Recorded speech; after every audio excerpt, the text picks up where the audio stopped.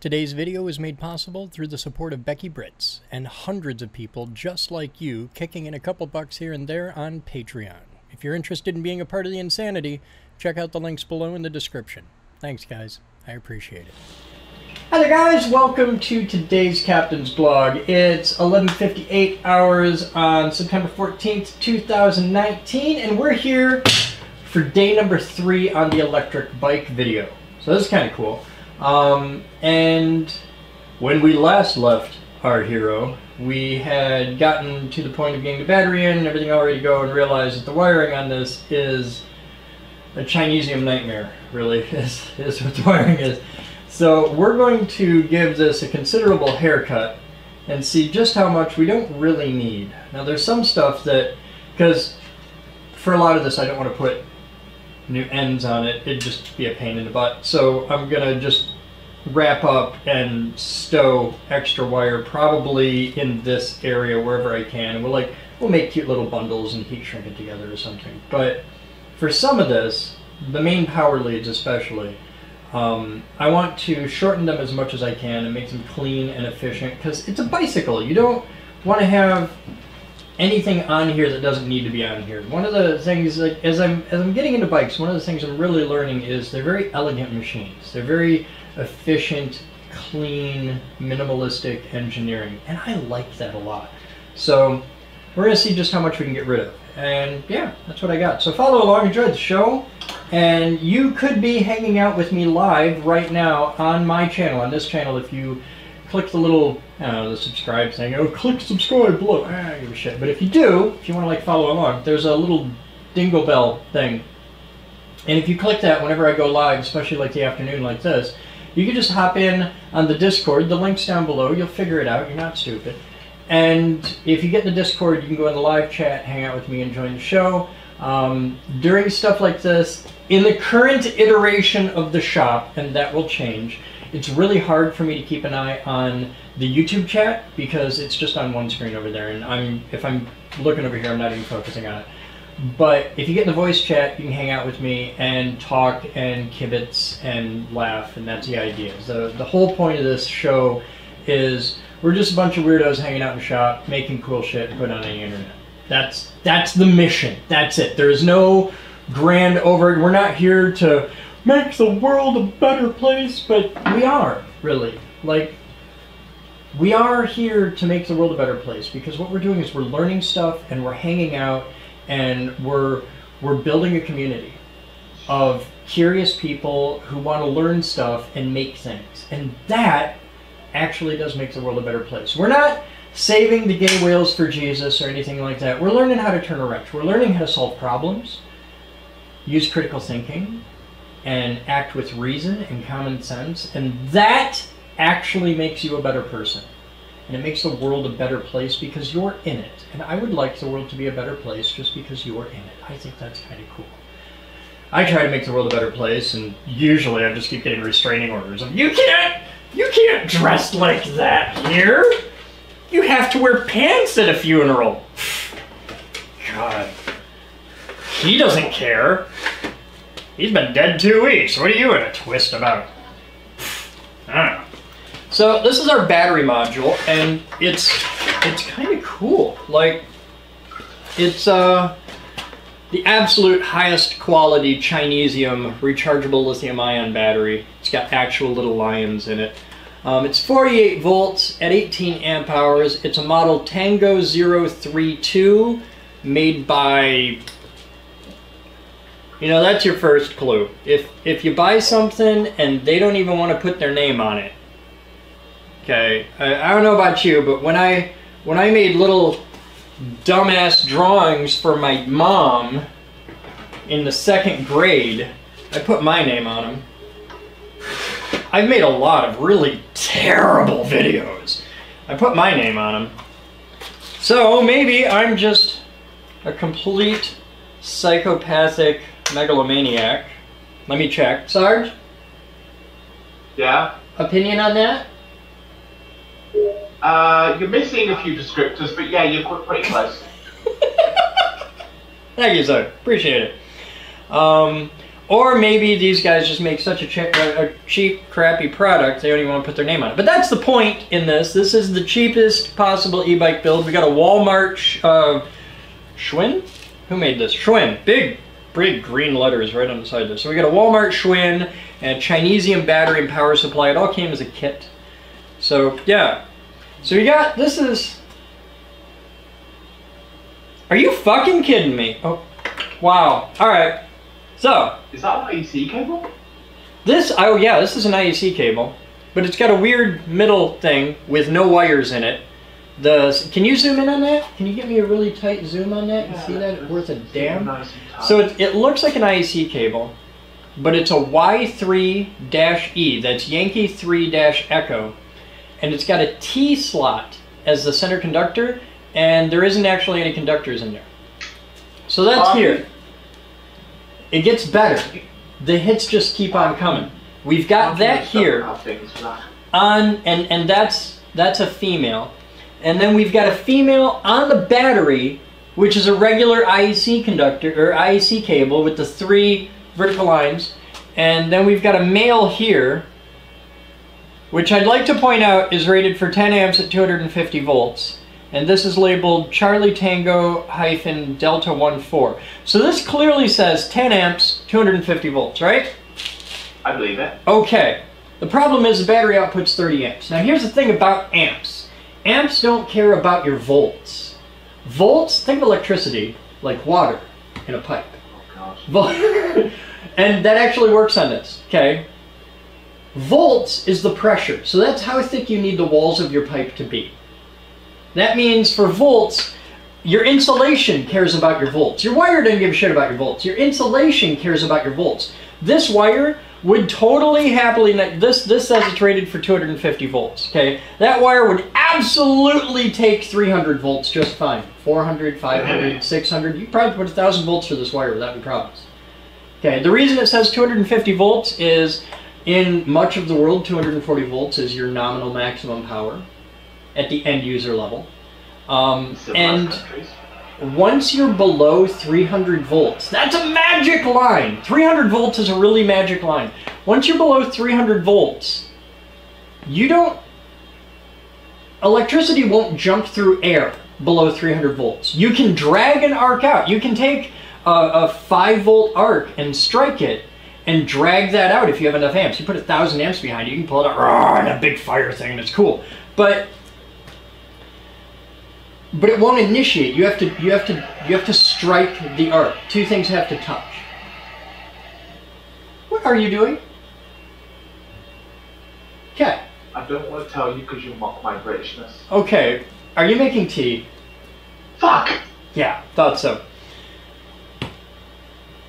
If you're down at 300 volts or below, the wires actually have to touch to be able to arc out because the electricity will not jump through the air. Assuming normal atmosphere and pressure and all that. Like if you're doing this in a vacuum or something, okay, all bets are off. But if you're just some dude dicking around on an electric bike, you're fine.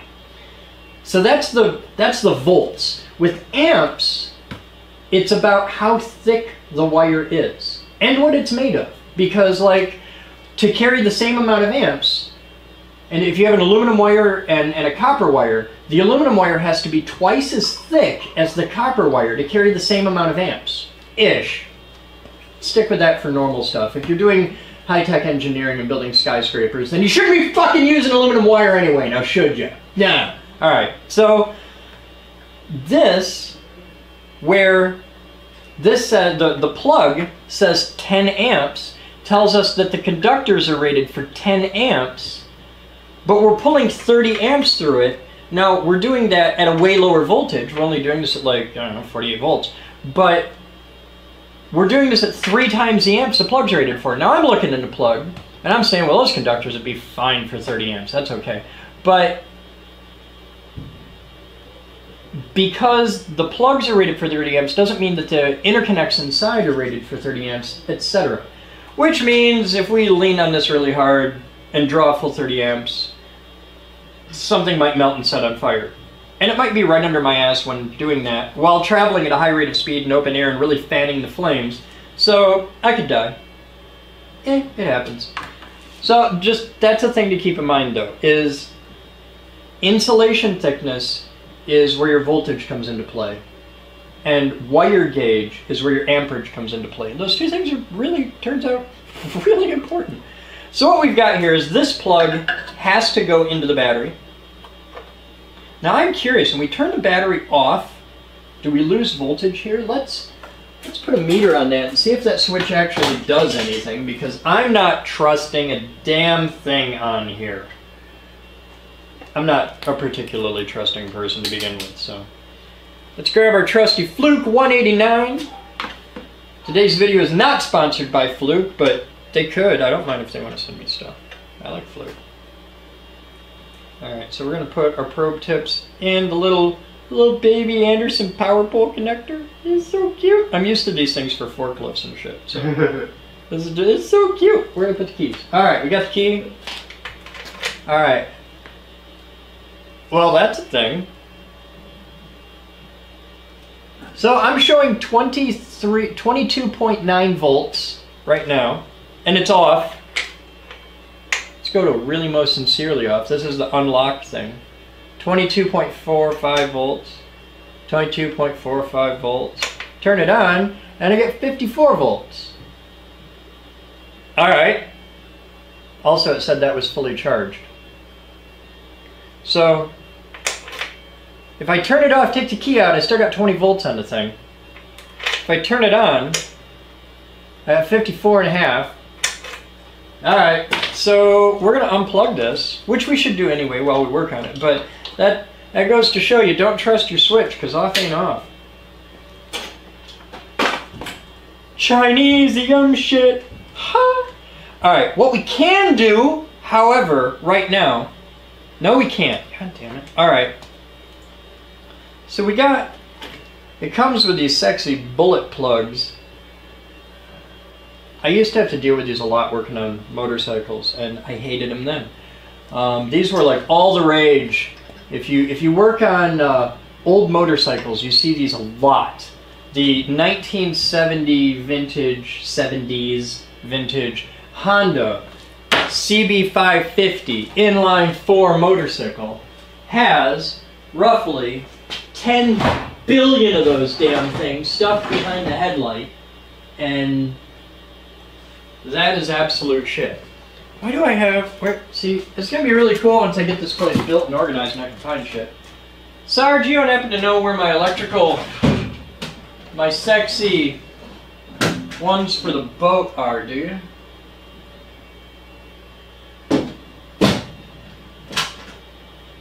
Sarge, you with me? Are you in a tea coma, Sarge? Sarge is in a tea coma. I have a box. Somewhere I have a glorious box of electrical Hello. love. Hi, Sarge. You're back. Yeah, I don't know why you couldn't hear me. I was scared. I was all alone. You just left me. I didn't know what to do. I can't find was my just saying, um, fucking electrical today's box. episode is not sponsored by Fluke. It's sponsored by Fluke with a PH. They're Chinese non-union customers. Sarge, I got a box. It looks like this. Okay, it's this kind of box. It's got. It might be in the garage. Because I use it with boat stuff. I'll be right back. I think it's in the garage. Pow! Stop! Don't move a muscle. It's Harry Rickenbacker's birthday. What? Harry Rickenbacker's birthday is today. I have no idea who that is. You do? Oh! So, Rickenback. Yeah, not Rickenbacker. No, I'm thinking of the popcorn, aren't I? That would be Orville Redenbacher. Yeah, I got the two mixed up. Hey, he his family might make popcorn. We don't know. He makes pizzas. No, that's a different guy. That's Robert Trains. He makes pizzas. Yeah. Damn it! Voice channel. Do you want to be in the right voice channel? Yeah, put me in the right voice channel. Yeah.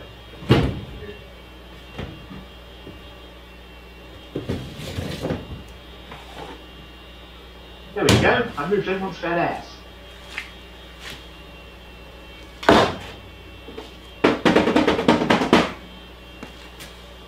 Am I in the right voice channel? Now you are, yes. Hi guys. They don't want to talk to me over here. I want to go back to my old school. Western Hubbard says incoming story time with Sarge. Uh, I don't. I don't think so. I haven't got a clue what he's talking about. Sarge uh, when. So is Mr. Rickenbach in here? When Chris went upstairs to get his stuff, the dude making the joke comment that you were going to build a dead air. Those are blue. These are blue. That'll be fine. Hey, that's Batman. Yes, that's a fact, man. Yes.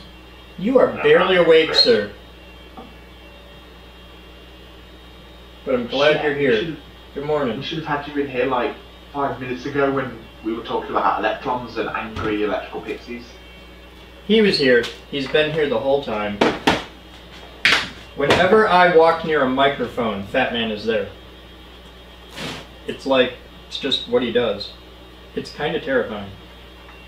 Kind of amazing chose to stay down in that in the uh, live stream voice for the hot tub. didn't you? Alright, so I've got little blue butt connectors and I've got some red and black heat shrink because we are going to sexy this bitch up. Huh? What?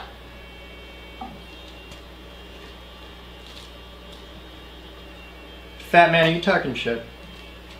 Yep. Okay, thought so. So I'm gonna plug in some of I the said other. you love me. I'm running on delay because you're not coming in through the voice, through the live chat voice stream right now. Sarge can fix that. I'm hearing him through the live stream voice chat. Like, that's how I've been having conversations with him.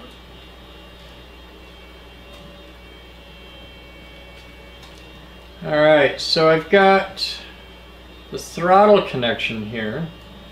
What I want to do is just a quick hack it together, give her some juice, and see something move. That's a red, black, white plug. So that goes there.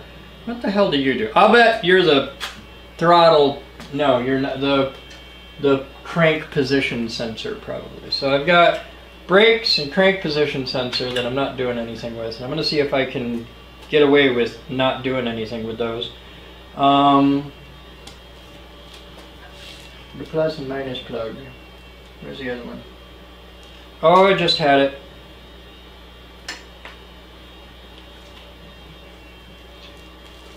It's not this one, but we're going to need this. It's this one. This damn thing. Okay, cool. Um, yeah, I can't do that safely. But I can do it with alligator clips. This is super safe. Totally do this at home. This is how you should do all of your best work. Alright, we're just gonna hack this together momentarily. About electricity when. This is a crazy straw.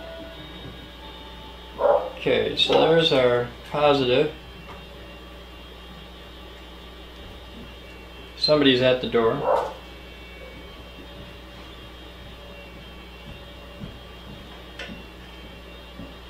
That will give us a ground. Now let's see if the damn thing powers up all. This is super safe. No fuse, no no nothing. This is dumb. Don't do this at home. Okay, we're on. Nothing at all lights up.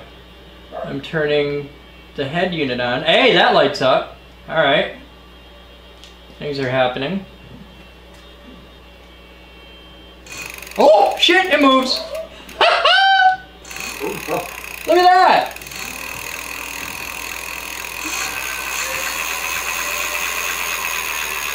Hey, it works! How about that? Oh, that is super cool. Alright, what do these do?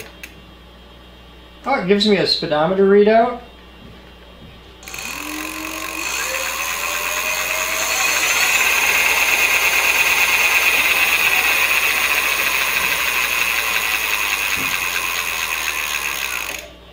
Brakes work. Okay, so this is second gear.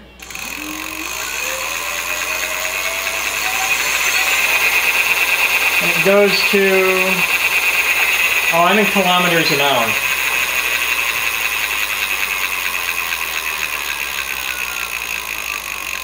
Third gear goes up to 66 and a half kilometers an hour. Fourth gear 66 and a half. Fifth gear. 66. Okay, so no matter what I do, I get a max of 66 and a half kilometers an hour. And clearly there is no regenerative, bra- regenerative braking. Um, all right, I'm going to turn that off. I'm going to turn this off, which is a lie, but I'll do it anyway. Um, we'll disconnect our battery here and here so we're safe. It works! It works, it works, it works. That is so cool. it works! Yay! Alright, I'm going to unplug the battery and what we're going to do is we're going to directly wire this to here with a 30 amp inline fuse in the middle. And we're just going to clean this mess up because this is some advanced ugly. So I'm going to bring that up and come in this side and these are going to go in thusly somewhere, and we're going to put a fuse, we're, we're going to tuck our fuse right in here. That's my plan. So the first thing I'm going to do is cut back these wires a little bit, or cut back this insulation. Now I'm just gently pressing on here because I want to score it. I don't want to cut all the way through. I gotta take that Anderson apart. Might be able God to use forbid it. we cut through the Chinese wiring. Huh? God forbid we should cut through the Chinese. Oh, we're gonna cut through a lot of the Chinese wiring, but I I wanted to just score off. This is a heat shrink tube. I just wanted to clean that off. You gotta remember, sir, you don't know what's in the Chinese. Yeah. Oh, I know it's inside the Chinese wire tube. It's it's more shitty Chinese wiring. So that's gonna go up there and then come around to here. Yeah. All right. I might be able to. Yeah, maybe. Place that so it's actually copper in there. Oh, it's copper. It's totally copper. I'm gonna cut these off. I could really keep the whole mess down low, can I? I think it's going to be aluminum or something cheaper. No, this would be copper. Yep, copper. It's even tinned. Nice. Alright. And I'm going to put these two little things together. Because that's a nice, complete little Anderson power pole. Now we've got this, and I'm... I don't even know. I'll, I'm going to use this for the rail bike thing, maybe. But I'm going to cut these two wires right off. Well, I'm just going to cut this wire right off. I don't even need the other one. Because this is my nice, sexy inline fuse holder with a 30 amp fuse in it, which just happens to be the right size for what I need. And I'm going to tuck you down about here. Because that's the main fuse, and it's something I shouldn't really have to mess with terribly often. But when you do, you absolutely got to get to it in a hurry. And I can put that in there and fuse. I could VHB that fuse right to the front. That can go thus. I got a piece of VHB for that? Probably. Alright. Grab the big strippers, because we're doing big manly wiring. I'm going to cut this end off, because I'm not going to use that kind of end on this. Alright, so, and we're going to cut those ends off but we're going to cut these off really tight because that's that goes through a sealed dingus and that's all of that wire we get. So I'm you can see I'm even coming down onto the crimp connector because you can see where it's crimped which tells you where the metal part is. And I want to save every inch of that wire I can.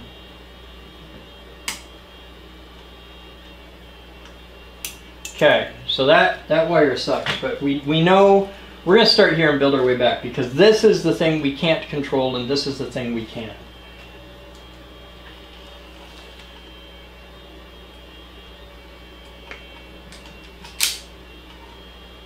That was way more of that than I wanted to strip, but you guys are just enthusiastic today. Okay, let's let's try. What the hell? Okay, so this unit maintains a residual charge, we just learned. Oh, I just got a little snap and pop thing happening there, and I hope I didn't fuck it up, but yeah. I'm not supposed to be getting snappy pops off the little power unit, but that held a residual charge of something. I don't know. Um, Alright, so we're going to put a couple big crimp connectors on here. These are not the crimpers I want for this, but these are the crimpers I have. So we're going to see just how much engagement our crimps want. About quarter inch. So we're going to cut this back because it stripped off way more insulation than I wanted to remove. I strip this back about quarter inch. I'm going to line this right up in here.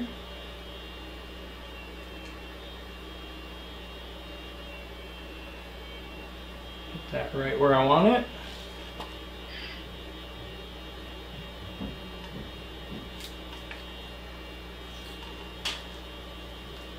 Oh, okay. You happy with that? Tug test it. Okay, that's really most sincerely in there. Grab another one. Now, on my crimpers, Sarge, can you zoom in on that? yep. One moment. Thank you. Right here. Yeah, that'll do. On my crimpers, you can see there's the big notchy part. Like, uh, here, let me get my, my official pointer. There's the big notchy part there. That's for uninsulated crimp connectors. This one here, the softer part, and it says right next to it INS, that's insulated. These are insulated connectors. You don't want to use the punchy part. It'll, it'll crimp them better, but you're going to break the insulation doing it, and if something touched, it could arc out, and I'm trying to avoid that on my bike. So we insert the wire into the thing, and the wire doesn't go in this far. You want to look inside. What you've got here with these, this is just a boot. This is just plastic tube. Okay, the plastic tube covers the whole thing. So you got plastic tube boot, the actual crimp part in the middle, plastic tube boot. Now in the middle, you'll see a little thing. And Sarge, you getting this? Yep, I'm still locked on the camera. Okay. In the middle, you'll see the little thing, and that's where they've actually shoved in a part of the little metal tube so that when you stick the wire in, it stops. And you want to stick the wire in that far. So if you watch this wire go in the tube, it goes in to there. You don't want any insulation going into the metal part, but you don't want the metal part going past the halfway part. So you gotta you gotta balance everything all out. It's not hard to do. It's just one of those things that it's easy to screw it up. And when you crimp it, you want to crimp. There's two halves of the thing, and you want to be inside the end, but this side of the halfway mark. You get it all lined up just so. And it's one of those things that takes about a thousand times longer to explain than it takes to do. But I've seen so many people do them wrong. And then when you crimp it, you squeeze these with everything you got, all the way down. And then tug test it. Grab each side, give it a good solid pull. Because if it's going to come apart, you want it to come apart now. This is, this is the best time for things to break. Now, we're not going to do this right now, but in a minute we're going to heat shrink that. So I'm going to cut my heat shrink to there. And because we're going to heat shrink after, we're going to put this heat shrink on now. So we're going to put a red tube of heat shrink over the thing, and we're just going to slide that up the wire a little bit. And we'll come back to that later, but once we put the next thing on, we won't be able to put the heat shrink on, so it's important to do that now. I'm just going to let the heat shrink hang about half an inch off either end. There you go. And then we'll slide that right up on there. So now we got our heat shrink in position. Cool. Interesting thing about crimp connectors, they, they sell them right next to the car audio stuff in most auto shops. Okay. Do, do people buy them when they buy a new stereo? Do they fuck? Probably not. Not as much as They they start, should. yeah, they just start So I got- that shit together. I got this extra plug thing, and this actually has the cross lock. I'm going to keep these together because I'm going to use this for something. I just don't know what. But this is it's a cool part. I'm just not using it on this bike because I don't need that level of bulk and complexity.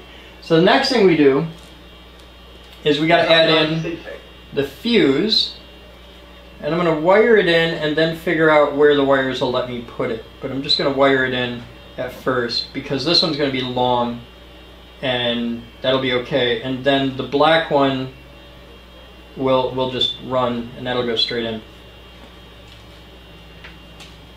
Strip this down. Oh, you like that cable.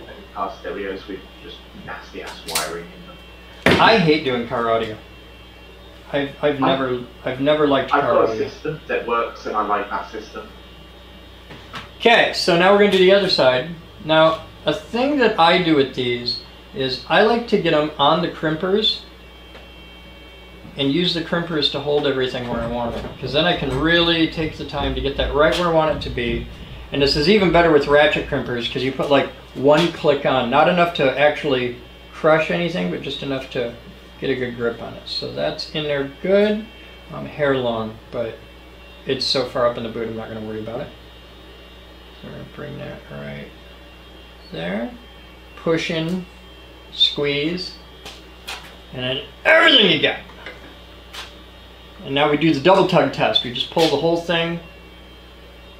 Yep, you're in there, you're in there, good. And now we slide our heat shrink down. That's just sexy. That's just good. And I could heat shrink that if I wanted, but heat shrink gun's over there, so we'll get to that in a minute. Now the other side of this is gonna come right round and the other thing this lets me do is I can just leave the key on because I can take this out and that's easier to carry in your pocket than a key. The downside is you don't want to do that all the time because this is not rated for 10,000 insertion cycles like that lock is. Alright, It's also so. not like theft. Huh?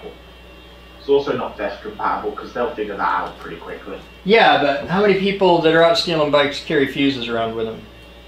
Oh no, they don't. They'll just stuff a piece of chewing gum wrapper in there. Good luck. Won't work.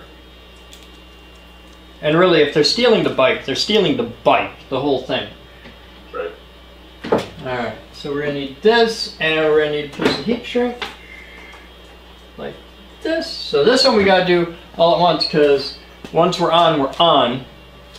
So I'm gonna need to cut you at about there. So we're just planning ahead. The the thing with heat shrink, heat shrink is awesome, but you gotta plan ahead. You gotta you gotta be working three steps ahead of where you're at when you're using heat shrink because once it's on, once you put your crimp connect on, you can't take it off with the heat shrink on. And I probably don't actually have to heat shrink these because the connectors themselves are heat shrink. That's just an added layer and it makes it nice, bright, color coded flag of what I got where. Urgh. But I mean, really, there's like a dozen wires in the whole thing. You should be able to keep track of what's what.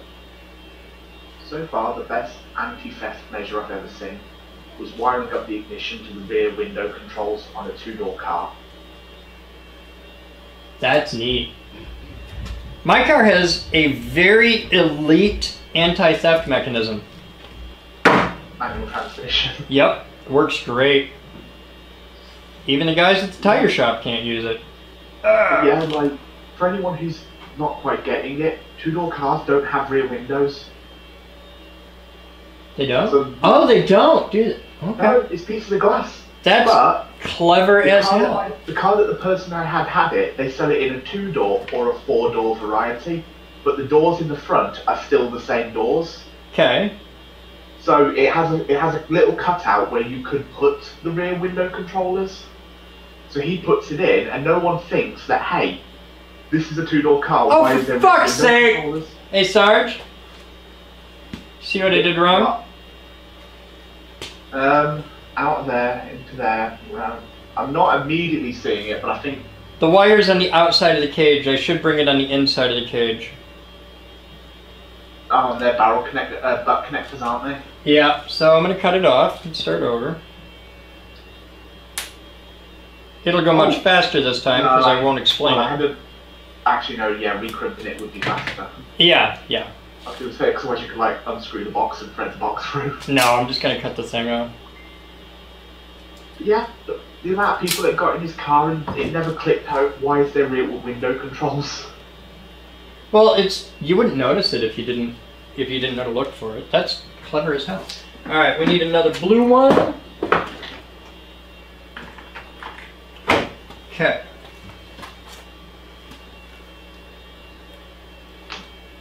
I'm waiting for the person who like tries to put it into the seatbelt sensor. Because what thief puts a seatbelt on before stealing a car? All of them. Well, even if they got it going. You you hear the phrase you hear the phrase drive it like you stole it and people think that means like go like hell. I don't know about you, but if I just stole a car, I'm gonna follow every damn law and drive totally normally and be a good boy.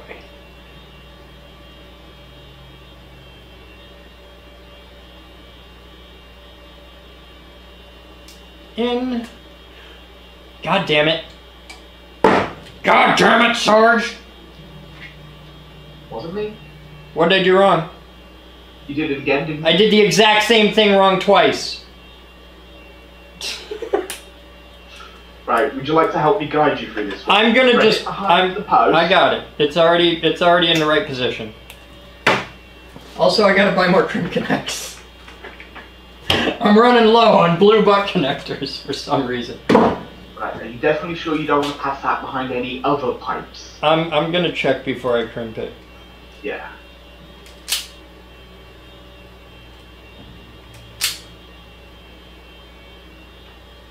God yeah, I hate doing car audio, but I've developed a system. So have I. You paid the guy at the place to install it. Oh no, I, I always do it myself because it's fucking easy. It's easy, but it's a pain in the ass, and it's one of those things that if you do it all the time, you get really good at it, and if you don't, you don't get really good at it. Oh yeah, it's one of the things where you can never do it and be comfortable at the same time. because Oh, you're yeah. leaning or bending over something. Yeah, it's like working on boats. The Yeah, only thing yeah. worse than car audio is boat electrical. I never mess with the anything behind the factory plug. Ah, I'll always buy an adapter or a harness cable just so that I can fuck up the part that you can get rid of. okay, I'm inside the bar. Or if you're my size, you pay the dude. I, I pay the dude. Well, All right, we got that in there where we want it. We're good there. We'll tuck up some of that wiring in a minute. And this one just goes straight home, and we're good. Yes, that's my problem. Is I'm frequently the dude. I've never owned a car. I've installed God knows how many car stereos. You've never owned a car? Okay, I technically owned a car, but like we won't talk about that.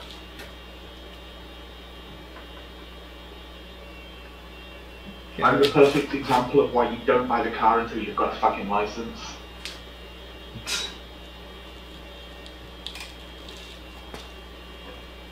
I was saving up for about a year before I bought my first car when I was 16 and uh, drove that for a couple months before it died.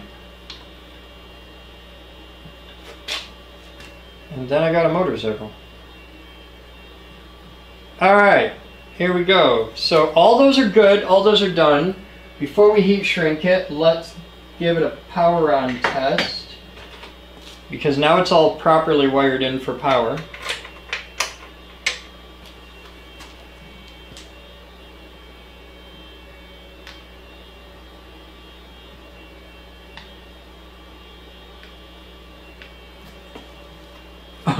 I'm dumb. You gotta plug the main power in first. Um. Oh. Alright.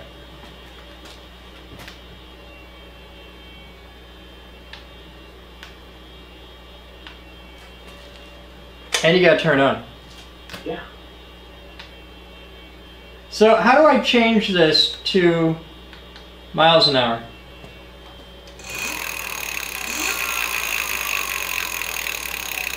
By a different country, I don't know. No, there's a manual somewhere.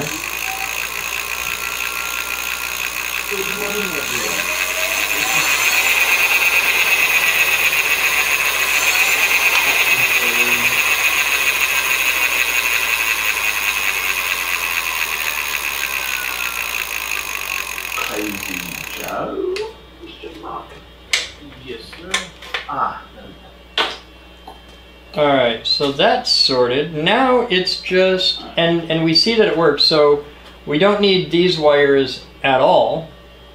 But I'm not going to cut them off. I'm just going to secure them down in here. I'm going to secure this, and then we'll start running, once we get the main power mounted, well, I got to heat shrink that. And then once we get the main power stuff mounted and done, we'll get into the smaller wires. So I'm going to grab my sexy, sexy heat shrink gun over here. So, does that battery have the ability to uh, run accessories? I don't know, and I'd like to know. And I'd like to figure out how, because I don't get 12 volts off the battery anywhere. But it'd be super cool if I could run 12 volt accessories off this. Because that's, Yeah, that's like the standard voltage for things.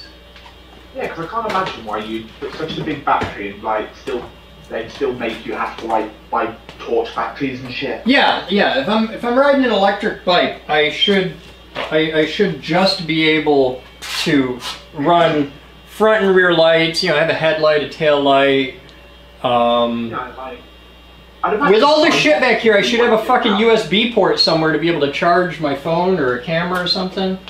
That's what I'm saying. I'd imagine five volts would be the voltage they'd give you for all that. Because pretty much all a lot of bike stuff is close to five volts or three volts.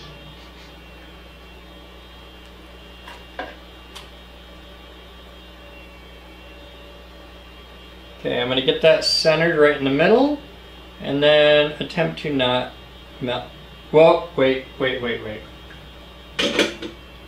My crimp connectors are heat shrink in their own right, so I gotta heat shrink that first. Wait, does I've never done that. What? I didn't know that heat that could connect to heat shrink. Uh, when you get the marine rated ones, they are. Ah. I work on boats Yeah. a lot, so all my all my heat shrink stuff is is marine rated. Okay, mine might not be.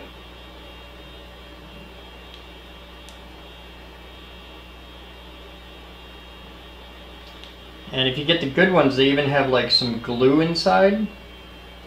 Oh wow, yeah.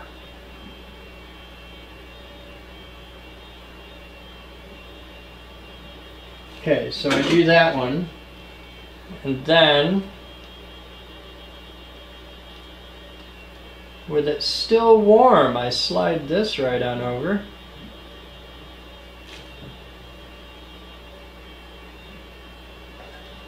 Oh, that's easier. Yeah. Alright, let me pull that up and out.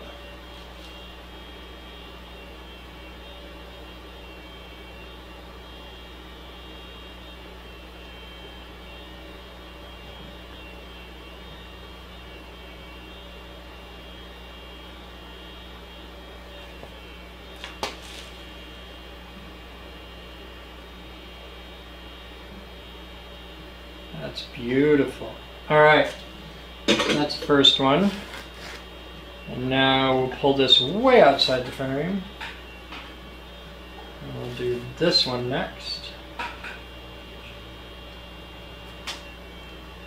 Which is a little tricky at this end, but I'll just be careful.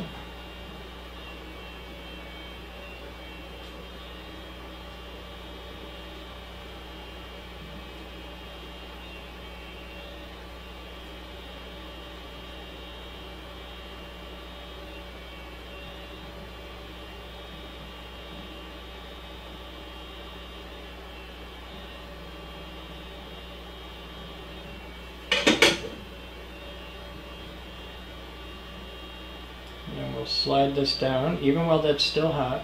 I'll slide that right down because a little, and you can see this is already starting to shrink, which is kind of cool.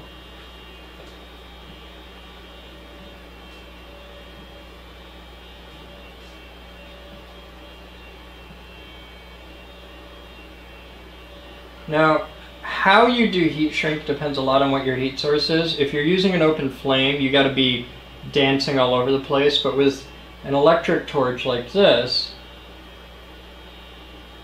this is actually, I think, a hot air rework gun.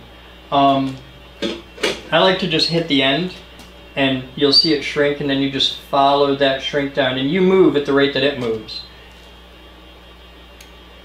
Okay. So this one's a little trickier because I got to get up and around. And I want to not set my seat on fire.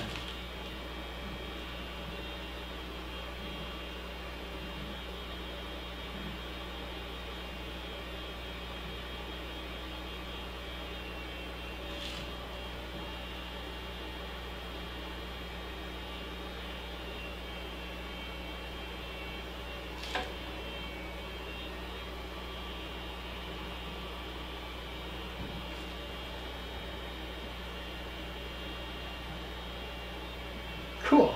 And that's our last one. There.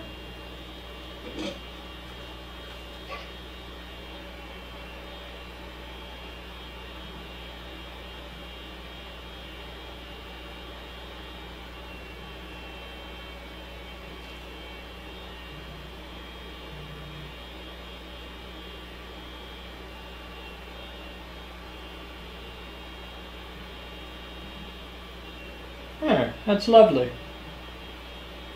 Okay. That's all our heat shrink for that. So that solves our main power connection. And we're gonna, I'm gonna VHB that somewhere, somehow. Not entirely certain.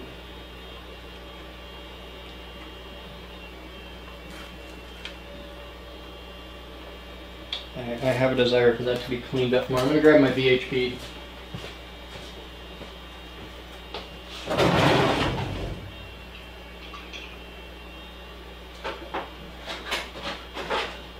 Yeah, that's perfect. Okay. So we're gonna put a big piece of VHB tape on the side here. We got to make sure not to go all the way down the side because we need that to open. We'll just put this like that.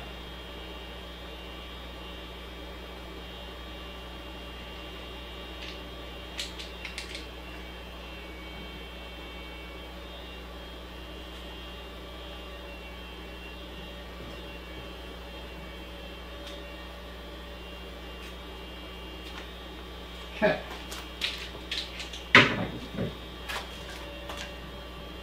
So that's one side of our VHB mounted. Now we gotta figure out where we want to put this. Do we want on the top? Coming out like that? I wouldn't put it there. Why not? Because at some point, you're going to want to be able to pull the battery out. Oh, this whole thing moves, doesn't it? Yeah, You're put it on right. top of the control box. You're right, you're right, you're right. Alright. I could, however, put this on the plug. Or what about on the on that flat plate bracket that the other box is mounted to? I'd have to put it way up here to do that. And that's kind of ghetto. Yeah. So I can't put it on a box. Thanks for pointing that out because I totally would have done that. I'm going to put it on the plug.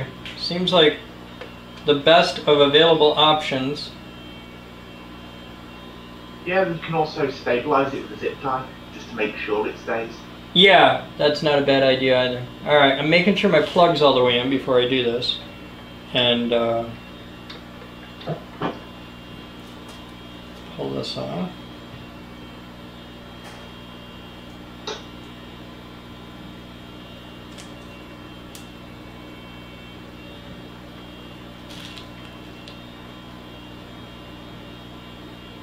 I'm leaving a good quarter inch gap just for safety. That's not going to need a zip tie at all. Okay. There's a full square inch of VHB in there. That's that's skookum. It's okay.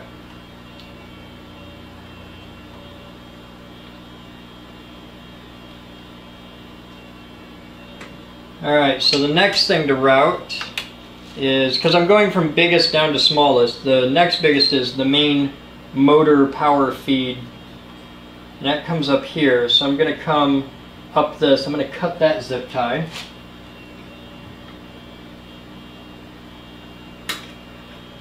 Because that doesn't need to be there, that needs to be here.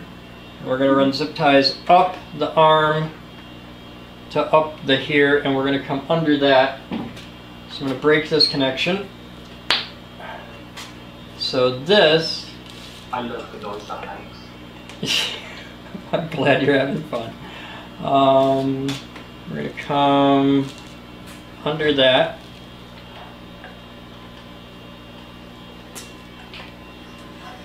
And down there.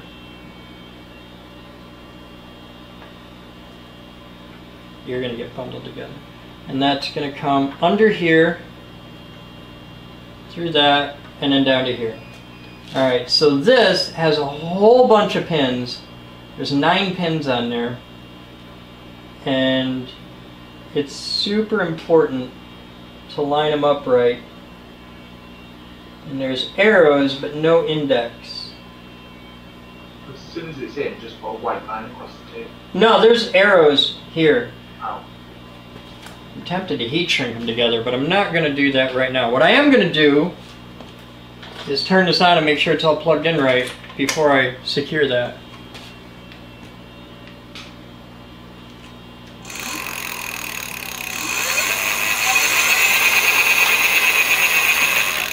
Okay. So that's good there. Let's grab a handful of zip ties.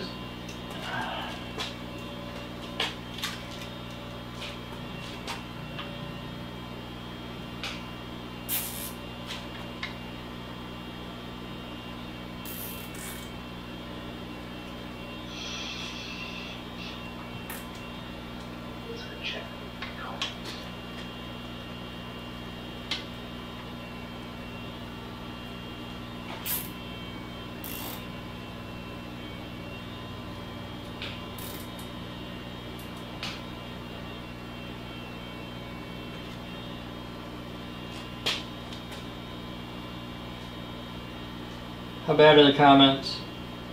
Uh, there's barely any. The last one was uh, Bunny Bono saying uh, I was just about to say wait.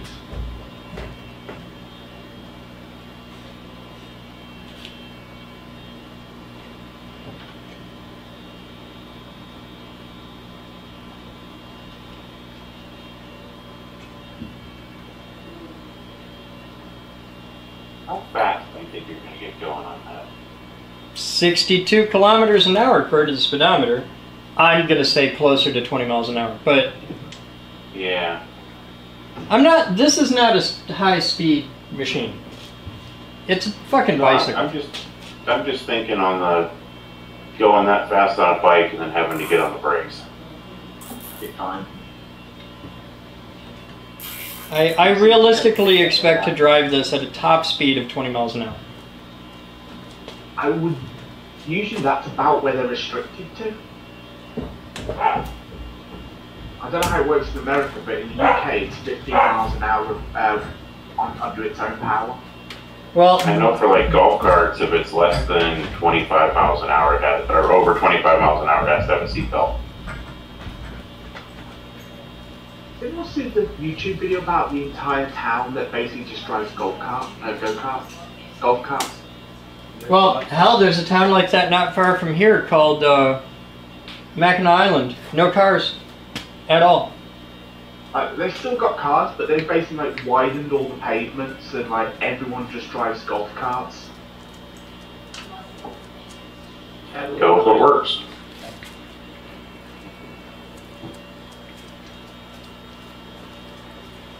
Okay. And like, they're all trying to make out how like they're really progressive, and all I can help thinking is is you're riding a go kart, a, a golf cart somewhere you would have originally walked. You're not progressive. You're fat. I had a buddy for a senior design project. Uh, he did it for Schweitzer. They wanted them to take, basically, they had a Schweitzer branded golf cart thing that people could drive around campus, and they wanted them to put a bunch of their toys on it for monitoring and everything and upgrade it. Yeah. Well, they got a different company to give them a higher power motor, and they got a different company to give them better batteries, but they had to limit it, I think it was 20, so they didn't have to do seat belts. My buddy wanted to know how low it hold together, so he went to one of the steepest hills in town, killed it so the steering would still work, but the electronics wouldn't work, and coasted this golf cart at like 55 miles an hour down the hill. He just wanted to know, is it gonna come apart or not? But this thing would do 20 miles an hour up like a 30 degree grade. Oh god. So I got spiral wrap, and this is gonna suck. Um, Oh, I hate that shit. yeah, I'm gonna use zip ties.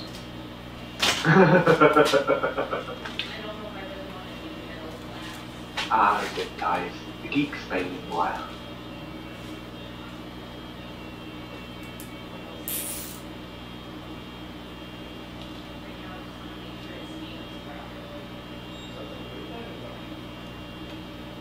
WD-40, duct tape, baling wire, and zip ties.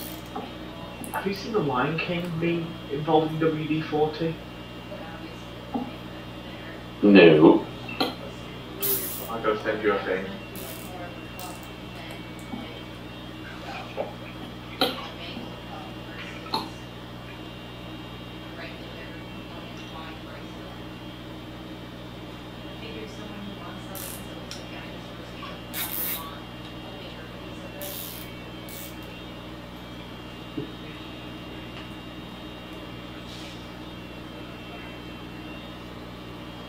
I need a looking live stream text. Yeah, goddamn it, Sergeant, I knew you were heading there. Let's bring it up to Chris. There you go, Chris. Seen that one before. Some of us are doing real work here. I'll do real work. You you are at shit. Okay, so this one has to go from the back. Oh my god. so this wire is hardwired there, and the plug is way the hell out on the end. But all the other ones are hardwired here, and the plug is way out on this end. It's just it controls which way you have to route the cable from. Oh my god. Say it together, class. Chinesium. Oh my god. Alright. Well, I can do this. I'm smart. I'm even smart on the internet. So. Oh, fuck off.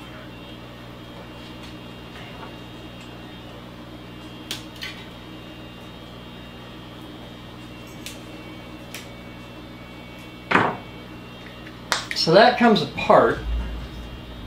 And we have to completely route this cable where we want it before we do anything with it. I'm gonna keep you two together.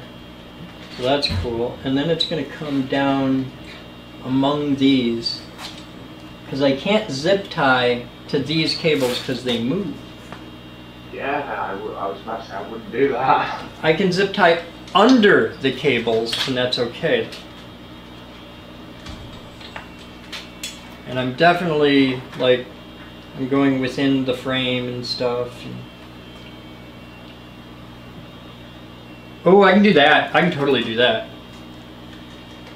I wonder if there's going to be any worries about the breaking the lines and breaking the uh, insulation. There, it's not going to touch it. Oh, okay. Well, well clear. All right, so this one disconnects back here. So that's totally different thing. And we're going to take this.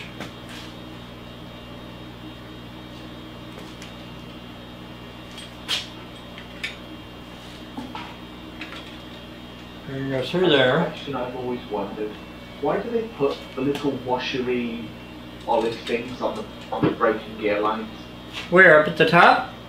No, like look straight in the middle where it uh, Here? opens up and you see raw. Yeah. These? That's a vibration damper. Oh. I always thought it was just like to watch it cool and be all movie and stuff. No, no, no, it's a vibration damper. Ah, cool. That makes sense. Yes, for the longest time I've never known what they did. You know what the funny thing is? Wow. They use the exact same idea on uh, high tension power lines. I'll bet Fat Man can show you pictures of them. What the little rubber things?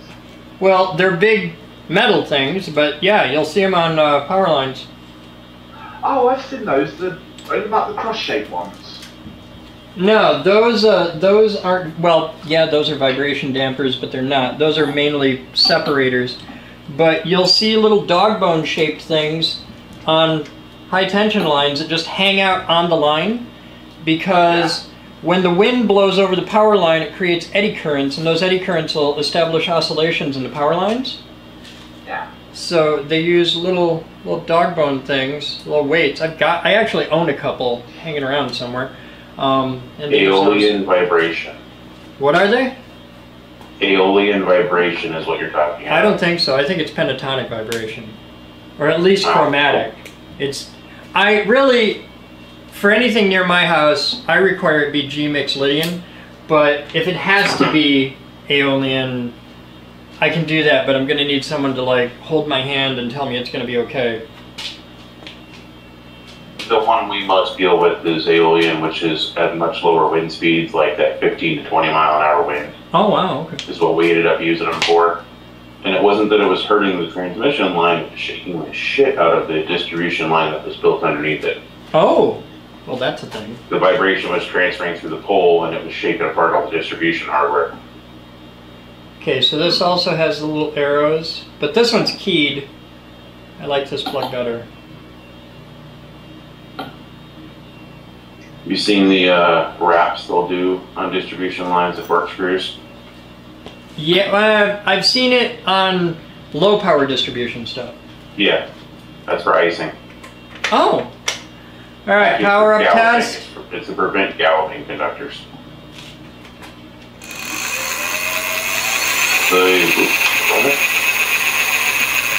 There. Okay, everything's good. Now I can properly lace in all these damn wires, of which there are a lot. Not that many, really, but there's a lot. We got a lot going on. So now I'm gonna grab a big fistful of zip ties. so here'd be a fun thing for you to go. You, I don't know. You might be able to see it there. You get enough ice. You have an ice. You live in Michigan. Wind's blowing. yeah, but it's it has to be under the right condition. It's got to be the side. The ice has to build up because the wind's blowing sideways, and it builds up what amounts to like a wing on the line. Which then the wind blows right, you get lift. It'll pick up until the line kind of twists over, and then it'll fall back down again. And it's called galloping. So the line will pick up as high as it can, and it'll drop and slam, and then it'll pick up. and It'll keep doing that Oh, that's cool. Until it'll actually stretch out the 336 kcmil wire until it snaps. Really? Yep. And that's when your paper So those- goes off. So those corkscrews you put on there, the ones we did, um, break up the ice pad so it doesn't form in a nice uniform wing, so the line can't do that.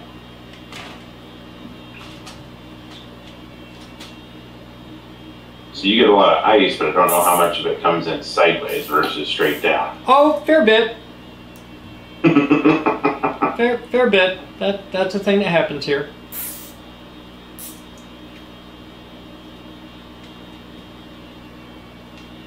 But yeah, the fun part of that transmission line that was vibrating uh, about the underbuild that wasn't our underbuild. Really? We built the transmission line to build a loop in, and we came over the top of the REA's distribution line because they already had easements. So basically, we built it and then put them back underneath us, and it was their line that was getting shaken to crap.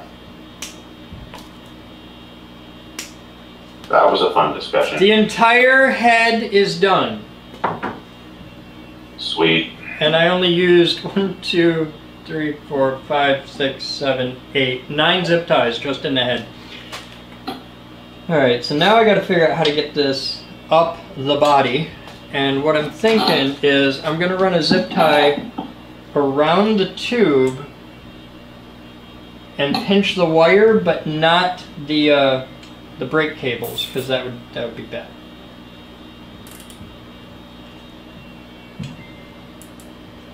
Sure, I got enough. So I got an outage call this morning. It happens. Did you Uh, fix it? dude called wanting to know if we come turn the power back on because we turned it off earlier because he had a structure fire. And Oh. he put it, I got it under control. Can you come turn it back on? Did the fire department come? Uh, I'm pretty sure that I didn't hear about the initial one, so the fire department called our standby lineman on the emergency line and said, "Come turn this off now." And I'm guessing after the fire, they don't they don't bother to you know be like, oh yeah, everything's cool now, turn power back on. Unless the fire marshal or the electrical inspector gives an okay to re-energize, we will not re-energize it. Good policy. Yep. Okay. I need more zip ties. Because they, because they will do that where they'll say, okay, we've had them disconnect these circuits to this part of the structure, so this doesn't get re-energized. But it's okay if they re-energize this part of the structure. But we ain't making that call. Yeah, that's a fire marshal electrical inspector problem. Fire marshal electrical inspector liability problem. Some point, I should get like pictures of the place where I'm living. You guys would both cry. No, we'd laugh. I'd just laugh. I guarantee I've seen sketchier shit. Hell, I've probably built sketchier shit. I've seen panels that have obviously been on fire that are still in service. Oh yeah. Oh yeah. Yeah, yeah, yeah. Those are the fun ones. I've had to do maintenance on shit like that. Yep. Well, When you have to put notes on the job that says do not use position 27 well, because it appears to have been previously damaged in a fire. a couple of years ago, the roof was leaking in my apartment block, and it was leaking through the roof over the top of a lighting fixture, and there was water just dripping off the bulb. I had that happen in my house because of a floor caulking line went bad. Yeah, well, it gets better. The, la- the landlord comes along and sees this and decides to do something about it. He puts a bucket on the floor to catch the water. Yep. well, I mean, it's a start. I had it dripping out of my ceiling fan. I, I came along and I'm like, are you fucking serious? I said, like, live electrical work, water's dripping over it, and you're more worried about the water getting on the floor. Well, that water's going to go to the thing below and cause more damage. So the first thing is, you know, don't make a new Yeah. victim. Oh, And as long as it doesn't touch, you know, the 240 volt part, as long as it only touches the neutral part, you're relatively okay. it was dripping, like, the, the, the light bulb was crying. Yeah, but the outside part of that connector, if you're using like an Edison style base, the outside part's the neutral. The return. The inside part's the hot part. Edison 2, The Return of the Neutral. Yeah, but you also don't have, like, it's a pendant light, so it's probably dripping down inside of the top half of the No. as well. Not necessarily, maybe. Just, no, you, you turn the fucking electric off. Jesus fuck, uh, just isolate the bulb, do fucking something. Yeah, but it hadn't shorted out itself yet, so it was still good. And it's super safe because you're British, so all your stuff's at 240 volts. So if it was going to screw up, you'd know. If it's holding that off, you're fine. We've got a USB-C that I'm focused. All right. Everything from the seat forward is done. Everything from this battery down is done. And I've got my nice big giant abortion happening right in the middle. So this, we just, we just fold up the wires gently without kinking anything. This is where we, because you're gonna have some ugly because this is all pre-terminated shit. So there's going to be a little bit ugly, but you can consolidate that ugly. Much like I try to consolidate all of my ugly on my face. You got to have consolidated ugly. Hide it with camera angles. I got like four cameras pointing at five, I think. One, two, three, four, five cameras pointing at me right now, so I don't think we're hiding a damn thing. Yeah, but he's only running the one. Sarge is running the PTZ because that camera moves. Yeah. All the other cameras are just recording, like, and I'll I'll fix it in post. As I said, see the magic of editing. My editing isn't so magical. I don't know if you've seen my work. The magic of my editing is why do you still make videos? What what possesses you to still want to do this? Like, uh, when I first moved in, the, the lighting in the apartment block, it was set up such that, it, that the hallway lighting would turn on at night and off in the morning. And that's fine, that's good. Um, no one, we always assumed there's a light sensor, which technically there was, until so there was a guy outside working on the street lighting, and he noticed something. Whenever he turned the power off to the street light, the lights in the building in front of him turned off as well. And he's like, wait a fucking second. On, off, on, off, on, off. Motherfuckers are stealing power. Perfect. you getting deep shit for that. Why, so yeah, the reason it was turning on and off was because as the street lights come on at night, the building lights come on. Yep. Oh, dude. Guys, you guys, guys, guys, guys, guys. What, what, what? I think it's done. All right. I think. Sweet. Now, stop No, a no, it's GoPro not and, go on an adventure. All I right. was about to say, you need camera mounts on it. There's a camera mount right there. Quarter 20 up the top. Yeah, there's a camera mount right there. But I think it's done. All right, hang on. You know, if you want a cool ca- camera shot, you pick up one of the cameras, mount it to it, and then in one continuous edited shot, take it outside and ride it. I think it's done. I think we built an e-bike. Well,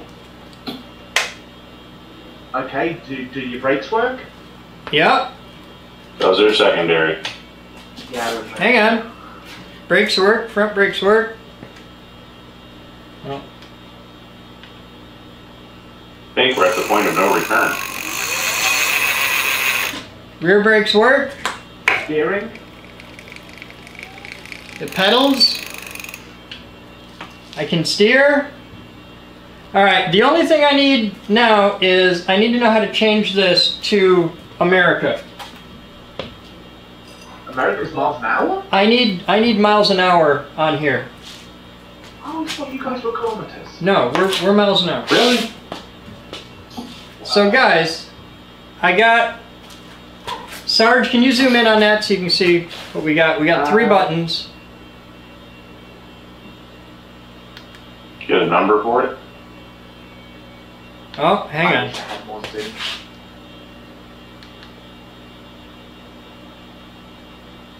One day I'll have more zoom and I'll be happy. Just Sarge has had a zoom on the camera. Yeah, I'm, I'm in as tight as I'm going.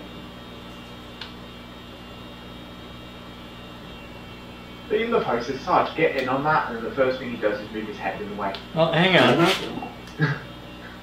Thank you. Okay, that resets my thing.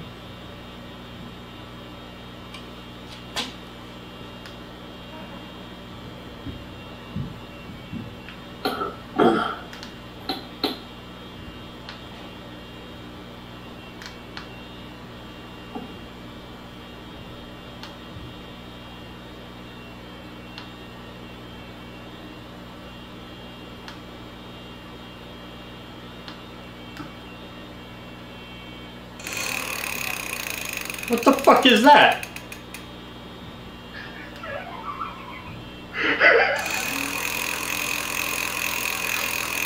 If I hold the down button, Cruise control?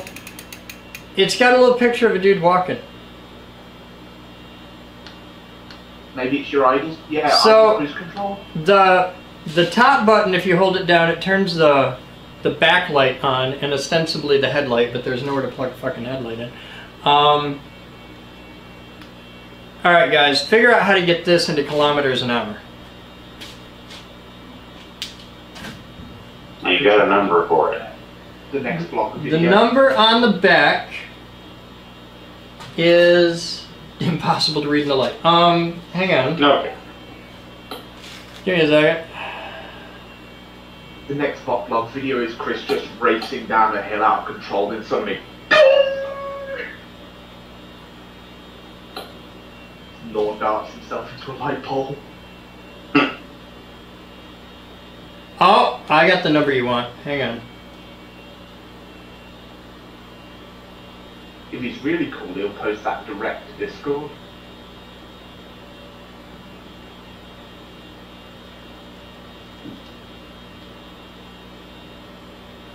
I can't really see it. All right, I'll give you the numbers I can. Shit, I know how to do this. Isn't there like a thing where I can just jump onto your wish list or your Amazon and find out where you bought that from? You'd have to go through my orders, but um, yeah, but that I don't think will give you the information you actually want. Hang on a second. I'm gonna take this off. Well, you help everyone else, I'm gonna go find it. Okay, you ready? Oh yeah, this is good. All right, get ready to copy. You ready? Oh, no, you don't make me fucking copy it, aren't you? somebody, whoever answers me, is going to be the one to copy it. All right, the lettering on the back says KT-LCD5, so Kilo Tango hyphen Lima Charlie Delta 5 Yeah. space Victor 1.0 Niner Echo. And then two The LCD 5V version 1.098. KT LCD5 version 1.0 space 9E. And that says 243648, which is the voltages it'll work on.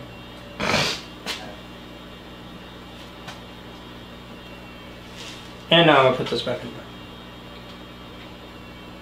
So that's that's my little brain box dingus. And now we know.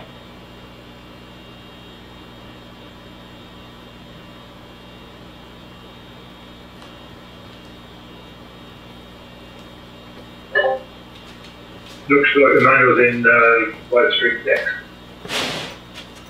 All right, how do I how do I change it to miles an hour?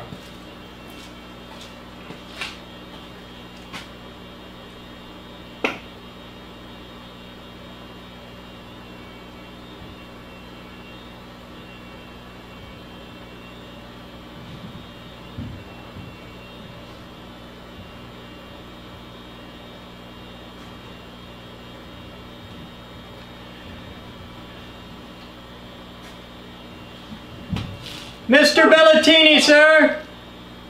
I'll get 'em. I I I'm gonna need his help for a second. Alright. not a bad place for what it is. It's got more gravity to it now than it did before. It's got a lot more gravity to it now. This thing probably weighs the better part of 100 pounds, 80 to 100 pounds probably. I don't know. I'm, I'd have to weigh it. All right, guys. So that is day three on the e-bike. I thought there would be a video four, but this turned out to be where we're at. Um, this is initial road testing. I'm gonna take this thing outside and see what she'll do. But yeah, thank you for hanging out and building an electric bike with me. You guys are awesome, and I appreciate you joining for the fun. I'm gonna get out of here because it's a sunny autumn day. I'm gonna grab a jacket and take this thing for a ride. You guys have fun. I'll see you later. If this works successfully, the next thing you'll see is really awesome footage of me riding an e-bike and going. So yeah, thanks guys. So you have to set a couple of things before you can change the speed. Okay, what? You have to go hold the up and down for five seconds, which brings you into the maximum writing speed setting. Okay. You pick what you want, hold the power button shortly to set that, All right. do it up and down Hang on, hang on, hang on, You have to hang on. Pick the wheel size. All right. Hang on a second. Let me let me just do it a third time and you get into the units. Okay, hang on. I'm gonna turn it on. You Yeah. tell me what to do, because we'll do this real quick, and then Steve Okay. can help me get this upstairs. Yeah. All right, it's on. What's next? Hold the up and down buttons at the same time. Okay, and then It should flash the writing speed. The maximum writing speed should flash, and then you hold up or down shortly to set what you want. Pick the number you want, so it'll throttle you basically. all right, and then Then hold the power button shortly, and it shall go to the next setting, which is wheel diameter. got that. Okay, hit your up or down to pick what wheel size you got. By the way, in Michigan, it's 20 miles an hour for e-bikes. Yep. And now that I've got it, what's P146? Wait, it's What's that, what? 20? What's P1? I got P1 and then the number 46 flashing. What does that mean?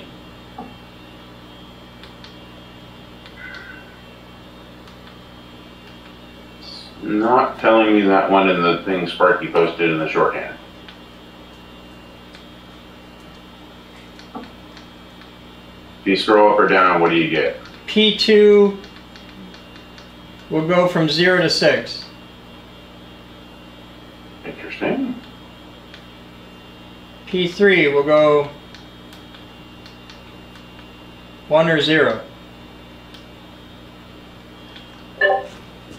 That's what uh, looks like it's the assist. So if you're walking with your bike, you press Ah. the button, and it'll power it like walking up a hill, for instance. Okay.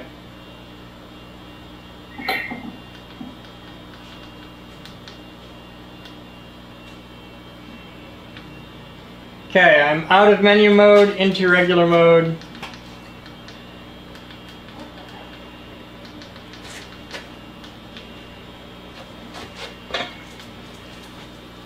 Okay, I think we got it. I'll be back in a minute, guys.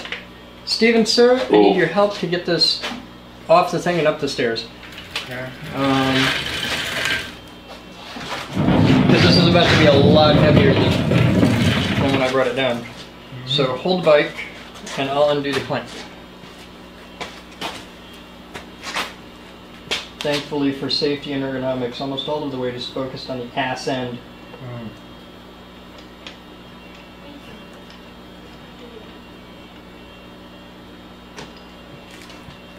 Okay.